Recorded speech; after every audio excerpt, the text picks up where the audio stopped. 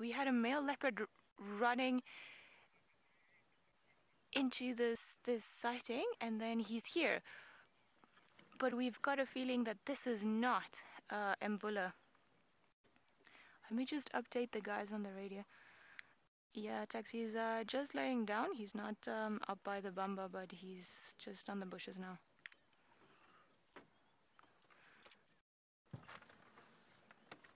Thank you. Tags, tags, tags, you copy?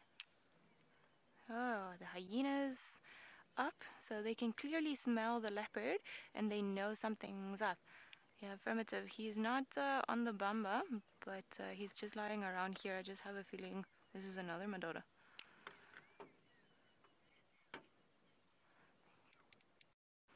Alright, that out of the way. So you see how quickly those sleepy hyenas got up. They know something's up. They know somebody else is here.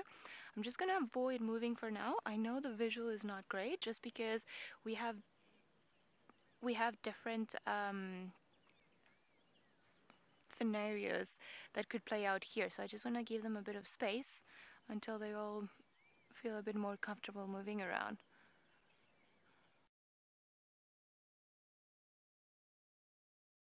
You see, so how's this? We did we came out expecting to see hopefully a Mvula on a kill this morning. We ended up with a carcass up a tree, two hyenas, and potentially a different leopard. Um, whenever you guys manage, because I know you're very good at IDing the all of the leopards around this area, just let me know which guy this is so we can try to piece together all the pieces of our puzzle and see what's actually been happening throughout the night. I think it was quite an active night for, for anything, for everything actually. Well, we've got Shangili on the one side with the hyenas, and now we've got another male leopard with more hyenas.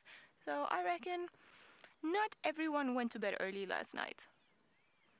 I think he's just hiding in there now. Yeah. So you guys have a feeling it is Tingana, and so do we. Um, he doesn't. He seemed to be a bit younger, but again, like we said, he was just running back to the kill, and then the hyenas started moving, so he quickly laid down, and that's where he's been for the last few minutes.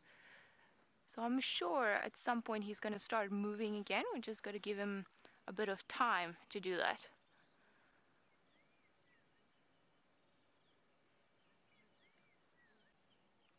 Maybe do you think if we go forward?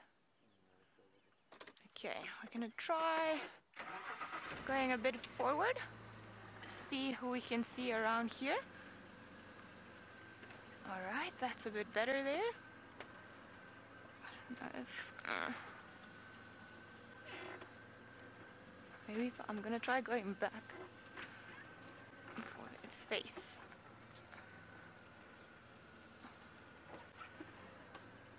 I don't think we can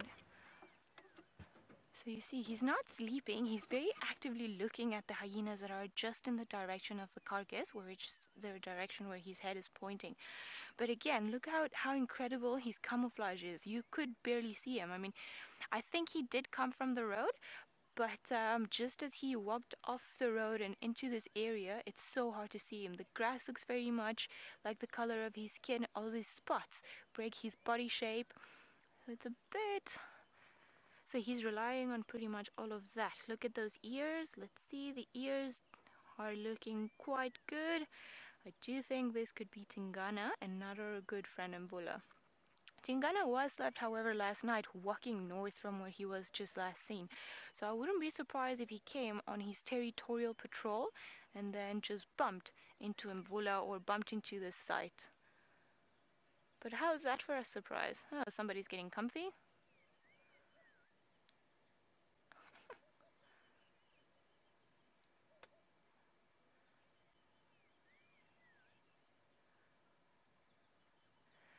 Crystal, you've even managed to identify the hyena we were looking at, Corky. So we've got Tingana and Corky on site, which is always good to know. And uh, wonder how this is going to play, because I can't see Corky anymore. She seems to have gone back down and Tingana is definitely moving there. You can see that tail moving in the grass. So it's always a good indication that they're thinking about something, they're plotting about something. It'll be interesting. He could also be quite wary, not only because he knows that the leopard, um, sorry, that the hyenas are here, but that there is a kill that he hasn't made that belongs to somebody else. So he doesn't know if there's another male around, if Mvula will come back, or what's actually happening. So he's got a, like we were discussing earlier, they are solitary animals. So they can't rely on anyone but themselves to actually look um, after all of the environment and everything that's around.